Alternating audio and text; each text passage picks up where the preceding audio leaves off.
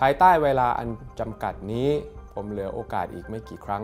ที่ต้องต่อสู้ร่วมกันในสองสมรภูมิ เพื่อนำไปสู่การจัดตั้งรัฐบาลตามมติมหาชน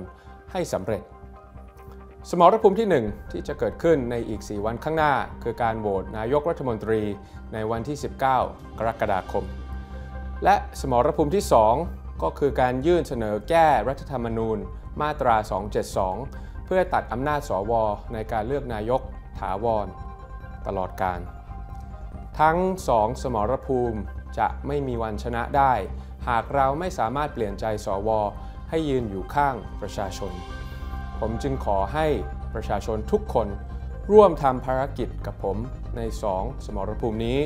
โดยการส่งสารถึงสว ในทุกวิถีทาง ทุกวิธีการที่ท่านนึกออกย้ำว่าขอเป็นวิธีการสร้างสรรค์ ช่วยกันเชิญชวน ให้สวโหวตนายกตามมติประชาชน หรือโหวตยกเลิกมาตรา 272 เพื่อคืนอำนาจให้ประชาชน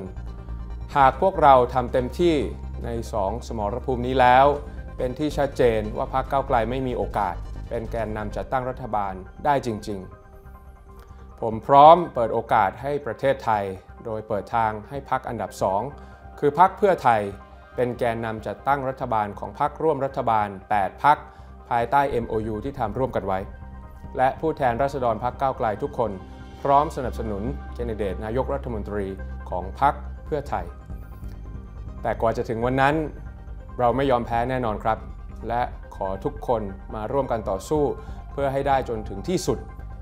ผมคนเดียวหรือพรรคก้าวไกลเพียงพรรคเดียว ไม่อาจเปลี่ยนใจสวและนำไปสู่การจัดตั้งรัฐบาลของประชาชนได้จริง จึงต้องขอแรงพลังจากทุกท่าน ร่วมทำภารกิจ เพื่อให้เราสามารถจัดตั้งรัฐบาลของประชาชนให้สำเร็จ